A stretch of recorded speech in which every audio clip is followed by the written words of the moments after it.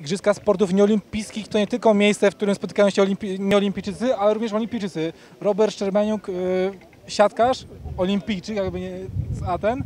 E, co robi olimpijczyk e, tutaj na Igrzyskach Sportów Nieolimpijskich?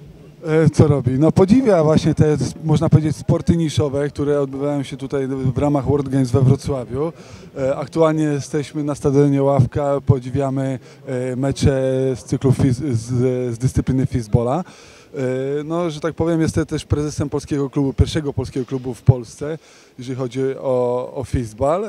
No, po, podpatruję, jak tutaj trenują, jak grają najlepsze drużyny na świecie.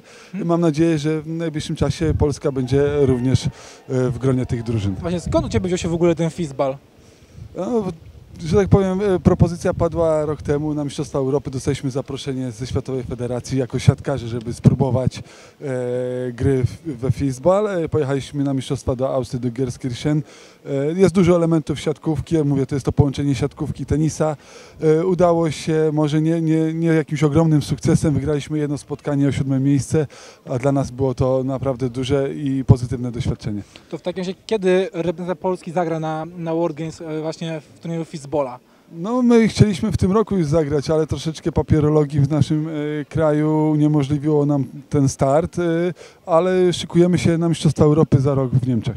Że tak na koniec, gdybyśmy mieli w, skró- w skrócie przedstawić e, naszym widzom, na czym polega ta gra, jej cechy charakterystyczne i no, te, naj, te najciekawsze.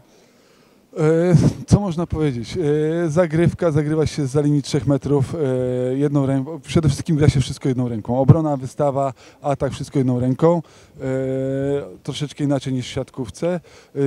Piłka może dotknąć podłoża po każdym odbiciu przez gracza. Więc jest dużo, dużo wspólnych cech, dużo elementów obrony, także, ale najlepiej to spróbować samemu. Naprawdę bardzo przyjemna, przyjemna dyscyplina. E, Ogląda też się efektownie, jak mieliśmy okazję wczoraj oglądać mecze Niemców, którzy, tak jak piłce nożnej, grają wszyscy, a wygrywają Niemcy.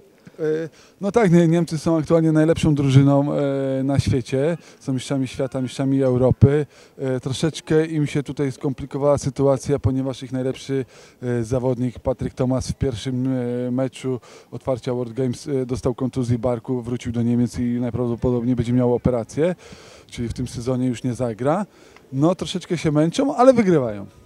Jeszcze tak na koniec nie mógłbym tego pytania pominąć, skoro mam przyjemność z olimpijczykiem.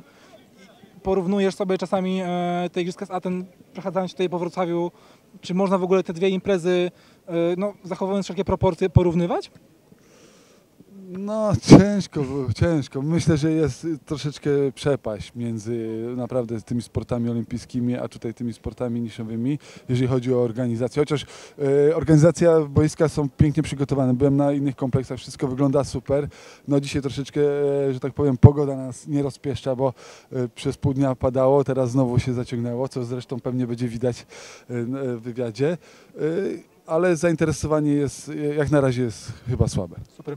Dziękuję bardzo i widzimy się dalej na arenach sportowych podczas The World Games.